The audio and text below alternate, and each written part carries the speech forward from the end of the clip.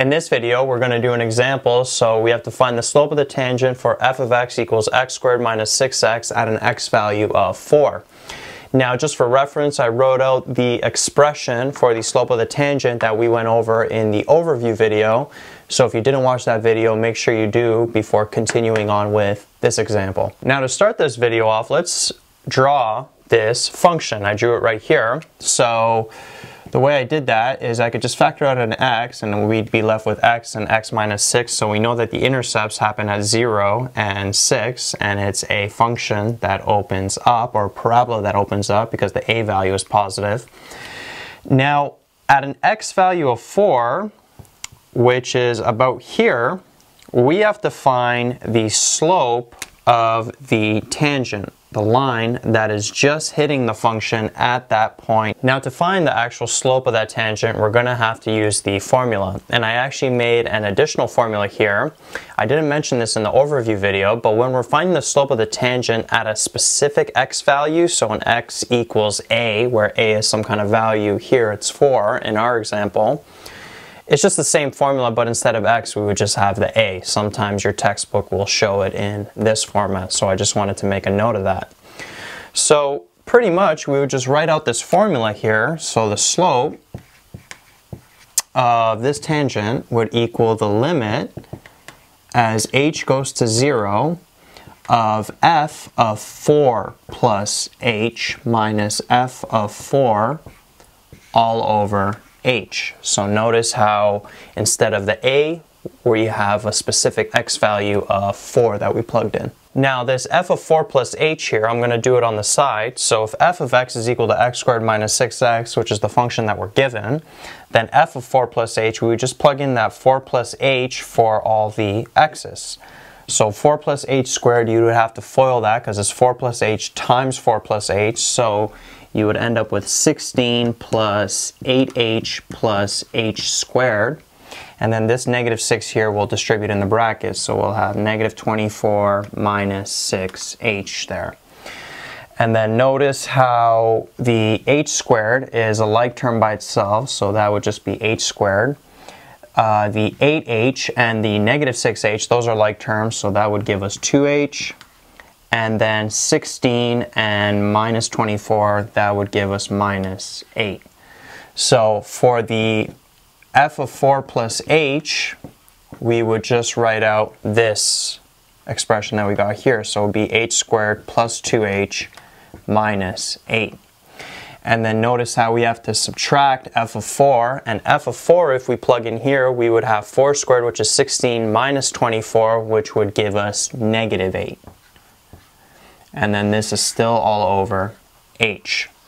So one more time, this f of 4 plus h, we did it here, so that's this bracket, minus f of 4. f of 4, if we plug in 4 for the x values in the function that we're given, we would just get negative 8. So that's that bracket there. That's still all over h. Then we got the limit as h goes to 0. Here, we'd have negative, negative, that would turn into positive. So negative 8 plus 8, that would turn into 0 and we're left with h squared plus 2h all over h. Now, if you remember, when we were doing this with the difference quotient in advanced functions, what we wanted to do is we wanted to get rid of that h in the denominator because we can't plug in a 0 for h at this point because anything divided by 0 is undefined. So same thing here in calculus. To get rid of that h in the denominator, we would factor out an h from the numerator. And now notice how the h's cancel out. So we're left with the limit as h goes to 0 of h plus 2. And now we could plug in 0 for h, and we would just be left with 2. So that there represents the slope of the tangent for this function x squared minus 6x at an x value of 4. So the slope of this red line is equal to 2. Now in this case, when we went through this process, we found the specific slope of the tangent at an x value of 4, which is what we were supposed to do, and we got a value of 2 right away. Now this is one way to do it. However, another popular way that teachers sometimes like to show it is that they'll find the general slope of the tangent for this function at an x value of a And to do that, they'll use the same formula that we've been using for the slope of the tangent, the limit as h goes to 0 of f of a plus h minus f of a all over h. But notice how we have an a here, just a general variable, versus here we had a 4 right away. Now this part, f of a plus h, I did on the bottom here. So we have our function x squared minus 6x, and then when you plug in a plus h for all the x's, you'll have a plus h squared minus 6 times a plus h in brackets. And then if you FOIL this and then distribute the uh, negative 6 inside, you would end up with a squared plus 2ah plus h squared minus 6a minus 6h. So I put that whole expression in brackets here. So this first bracket represents f of a plus h, and then we're subtracting f of a if we just plug in a for x in the function that we're given, x squared minus 6x. And then this is still all over h. So then when you simplify that numerator, when you distribute the negative in, the a squareds will cancel out, and the negative 6a and the positive 6a will cancel out, and you'll just be left with 2ah plus h squared minus 6h all over h. Now the same kind of thinking applies that we uh, performed in that process. You want to get rid of that h in the denominator because you can't sub in 0 yet because that would be undefined. So what you do is you factor out an h, and then notice how now the h's will cancel out. So now you're just left with the limit as h goes to 0 of 2a plus h minus 6. Now there's something I want to mention about this step here. The only reason we're able to cancel that h in the denominator, which is what our goal is, is because we are able to factor out an h from every term in the numerator once we simplified this equation. And you always want to make sure that you get to a point where each term in the numerator, once this is all simplified, has an h. If there's a term that doesn't have an h and there's still that h in the bottom, then you know you did something wrong because we have to cancel that h out and the only way to do that is to factor out an h from each of these terms. And notice how each of these terms do have an h. Same thing if you notice here, once we simplified everything, we got to h squared plus 2h, and we were able to factor out an h because each of these terms have an h. So if you ever get to this step, where you have a bunch of terms and one of the terms doesn't have an h attached to it, then you know you did something wrong. You messed up on some kind of algebra previous to that. And then once the h's cancel out, uh, we're just left with the limit as h goes to 0 of 2a plus h minus 6. And now notice how we can sub in that 0 for h, and we're just left with 2a minus 6.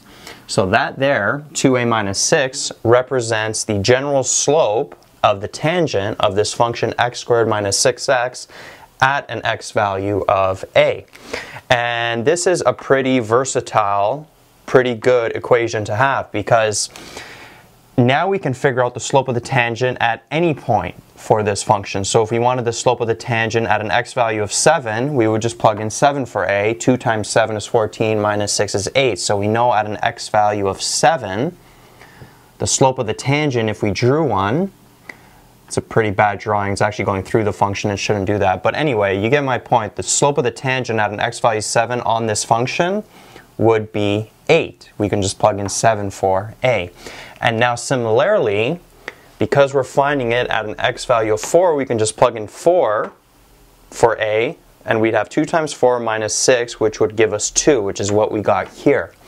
So a bit of a different approach. So here we found the specific slope at an x value of 4 at a specific x value right away, straight away. We got the answer at the end right away. But here, first we found the general slope at an x value of a, and then we plugged in that a value of 4 and found the slope to be 2. So either way, usually teachers uh, will show it this way, but your textbook will show it this way. So I thought I would show both. Yo, what's up guys? Thanks for checking out my channel. Hopefully you got some value from the video you just watched. If you did get some value, big favor to ask you, please like this video and subscribe to the channel.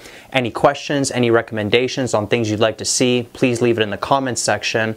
Also check out the description box below for links to material and content related to the video you just watched. Peace out.